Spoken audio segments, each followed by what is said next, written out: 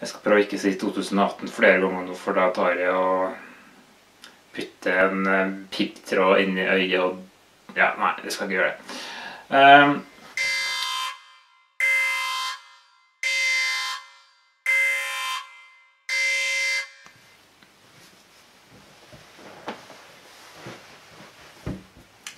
Hallo, og velkommen tilbake til Ailars videodagbok. Det er den 1. februar. Året er 2018. Det er midnatt ut. Akkurat skiftet på kalenderen fordi at det også altså kom inn en ny måned. Februar 2018. Eh, jeg sitter her nå i bekmørket. Eller det er ikke så mørkt her, men det er bekmørkt ute. Og jeg har bestemt meg for at jeg skal nå eh, sitte og snakke litt om hvordan jeg syns den eh, måneden som akkurat har gått, har vært. Det første som slår meg, er at jeg har brukt ganske masse tid på å nå oppdage akkurat at uh, kamerastativet er litt skjevt. Jeg håper ikke det slår ut så veldig godt på videoen. Men ja, apropos det der Jeg har brukt ganske mye tid på å fokusere på ting som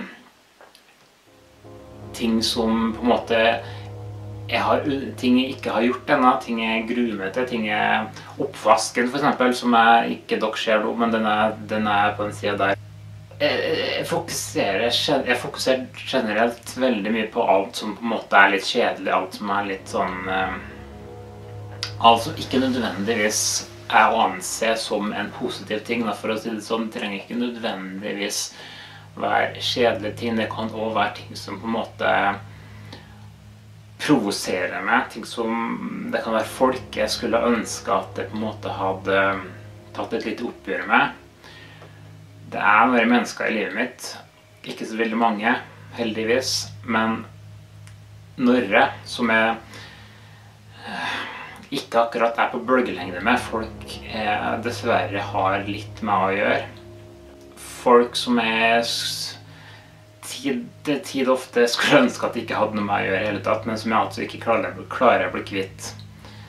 Eh, så, altså, er jeg fortsatt ikke fornøyd når det liksom gjelder min egen eh, Når det gjelder den YouTube-kanalen dere sitter og ser på nå.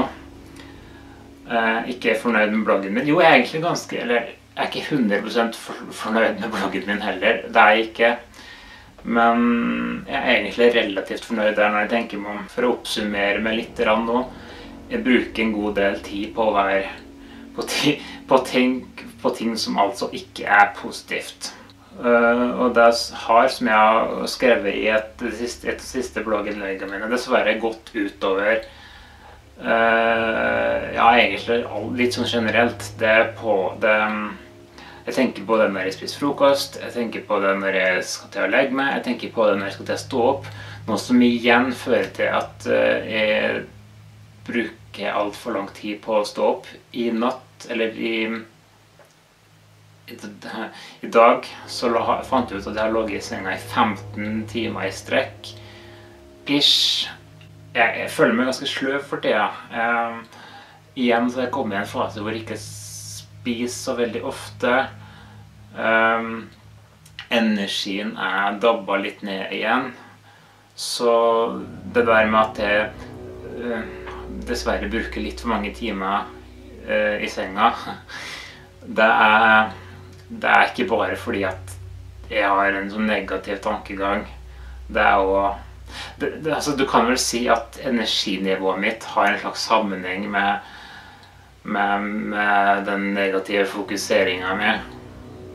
Så kan jeg vel snakke litt om hva jeg synes om uh, bloggen min en måte. Jeg sa jo litt i stad at jeg egentlig er ganske fornøyd.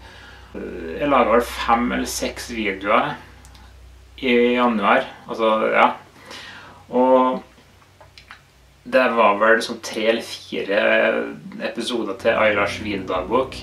Og to humorvideoer. Um, de to humorvideoene de er jeg faktisk ganske fornøyd med. Det, ikke, det slår ikke skjære leverposteiboks eller eh, eller det derre når jeg antasta tastaturet-videoen eh, min.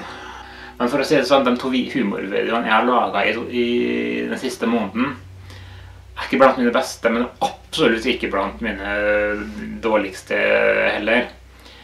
Eh, det eneste jeg er litt skuffa over, er at det er bare sånn 30-40 views på de to videoene nå, så jeg holder på å bloggshoote Jeg har bloggshoota de videoinnleggene mine så å si hver dag siden de kom ut.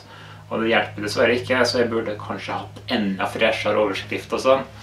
For jeg har funnet ut at uh, det hjelper egentlig ikke så bra video du lager hvis du ikke har god nok thumbnail eller overskrift. Så jeg må bli litt flinkere på thumbnails og uh, clickbait-overskrifter, tror jeg. Så kan jeg snakke litt om hva jeg synes om de skriftlige blogginnleggene mine. For nå var jo først og fremst YouTube jeg snakka om, sjøl om jeg tar det under bloggen likevel, fordi at det er jo Når det kommer til de skriftlige blogg.no-innleggene dine, så er jeg litt sulten nå. Og igjen litt sånn Jeg har ikke spist ennå, så jeg Ja. Jeg har vel egentlig ikke veldig mye å si der. Jo, jeg skrev et dikt for uh, to-tre dager siden som, heter, som jeg mener jeg husker heter 'Når ingen liker meg', eller noe sånt. Som jeg skrev en time eller to etter at jeg hadde lagt ut det siste Facebook-profilbildet mitt, som ingen gadd å reagere på i hele tatt. I ver altså Verken gi en like, hjerte, sint fjes, lei seg-fjes. Ikke en kommentar.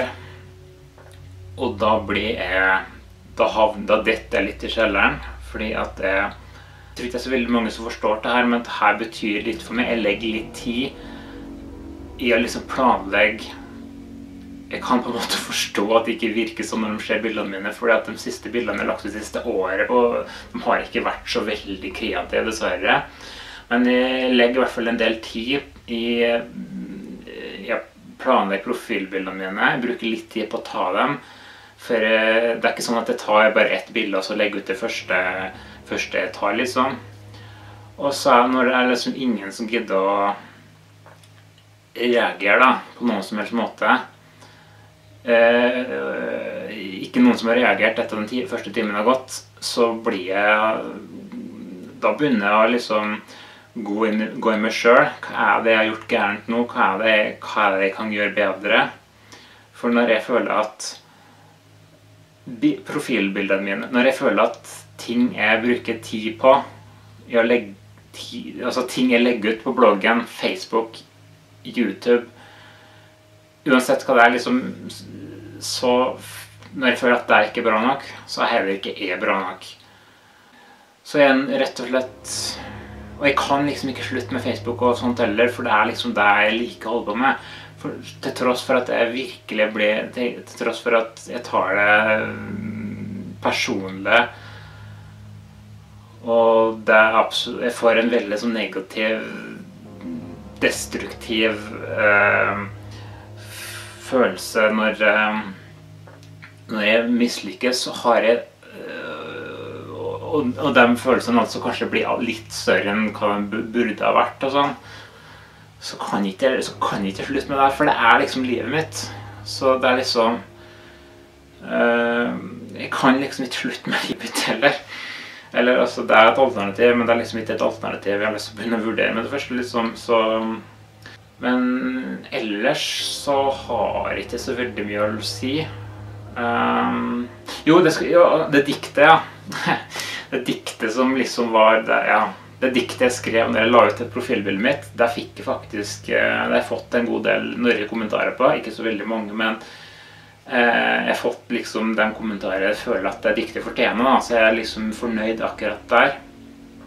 Og det var et veldig kort, enkelt dikt. Uh, og faktisk et av de bedre dikta jeg har skrevet på en god stund, føler jeg sjøl. Eh, det blir litt sånn at du må liksom Den beste dikta det er liksom det mest personlige. Um, nå vil jeg ikke akkurat si at 'Kjære leverposteiboks'-diktet som jeg skrev i 2012 eller 2011, var så veldig personlig dikt. For det var et sånt Det var bare noe jeg skrev for dette skjeda med. Og så ble det veldig bra, til tross for at jeg brukte bare fem minutter på å skrive det. Men ja.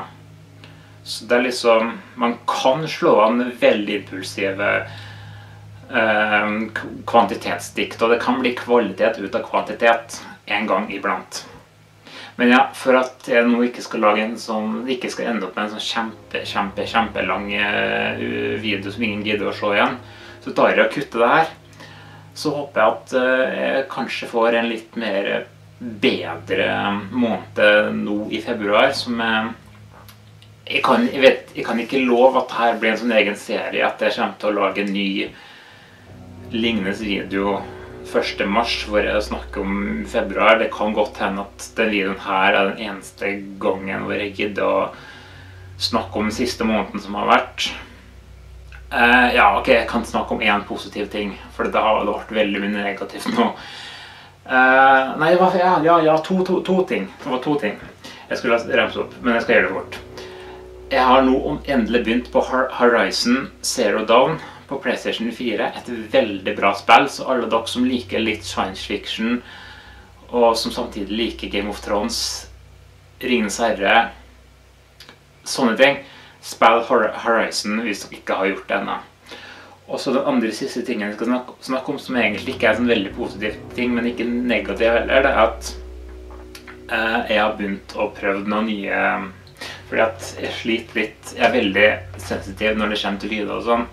Jeg har liksom tatt ned klokka som pleier å henge her liksom når jeg skal um, lage denne videoen her. For at jeg ja, blir destruktiv. Jeg blir distrahert av uh, lyder veldig lett. Så jeg ligger vanligvis med ørepropper, og vanligvis er det dem her jeg har brukt det siste året. Jeg begynte vel med øre januar i fjor, så det er vel gått et Nei, kanskje februar. Jeg vet ikke, Det er i hvert fall for maks.